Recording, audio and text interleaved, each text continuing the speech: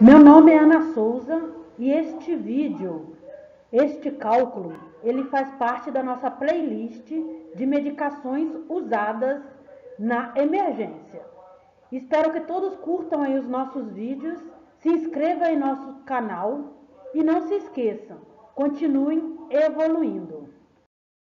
Neste vídeo iremos falar sobre a dipirona, solução injetável.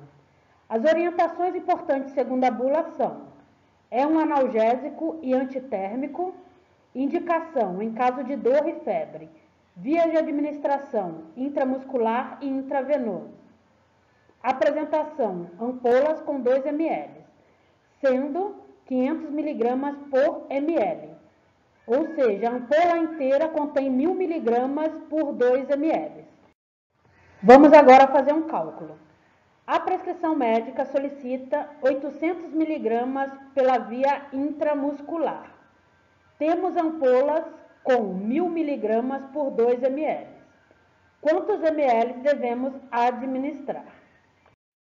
Observando o cálculo, vemos que a prescrição médica é de 800 miligramas e temos ampolas de 1000 miligramas por 2 ml.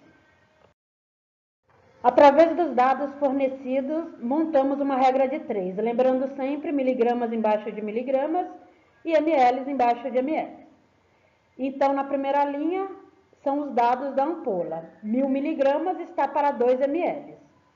E na linha de baixo, a prescrição médica, 800 miligramas. Então, o resultado será dado em ml.